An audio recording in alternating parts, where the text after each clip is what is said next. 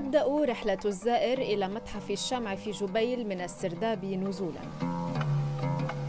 ما هي إلا لحظات قليلة حتى تشاهد الأديب جبران خليل جبران جالسا بهدوء واتزان أمام مكتبه يدون إحدى قصائده.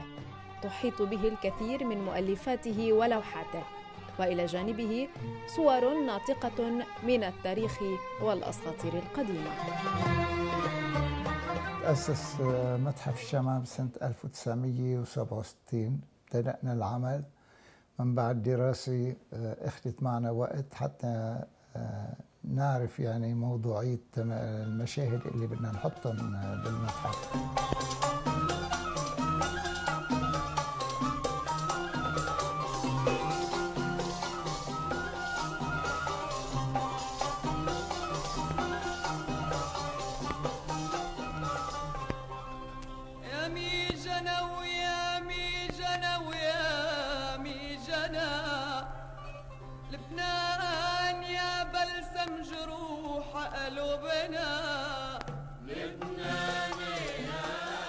في المتحف أيضا تماثيل شمعية لفنانين بارزين بينهم وديع الصافي وصباح. كذلك للعالم اللبناني حسن كامل الصباح والكاتب الراحل ميخائيل نعيمة. نبتدي بعملية الشكل على المعجونة. نشتغل فيه بمرحلة أولى على المعجونة حتى نستقرب يعني 50 60% بنرجع بنعمل قالب وبنصب بقلب هالقالب من الجفصين. من بعد الانتهاء بنعمل قالب ونرجع بنصب شمع. بنحط له العينين اللي هن من إزاز مرسومين رسم حتى يعطي روحية رونق للتمثال. وبعدين الشعر نزرعه على السخن على الحامي اللي هو شعر طبيعي مزروع زرع.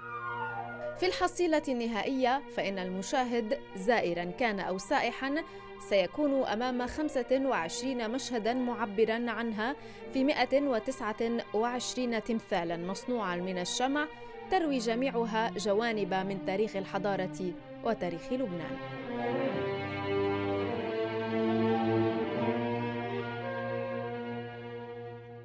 محتوياته تجسد الكثير من القصص والأساطير. تماثيل من الشمع تعيد الماضي إلى الحاضر بجماليات فنية وحرفية عالية. لبرنامج العالم هذا الصباح تلفزيون دولة الكويت راويه قاسم بيروت. محتوياته تجسد الكثير من الشخصيات والقصص. تماثيل من الشمع تعيد الماضي إلى الحاضر بجماليات فنية وحرفية عالية. لبرنامج مراسلون تلفزيون دولة الكويت راوية قاسم بيروت.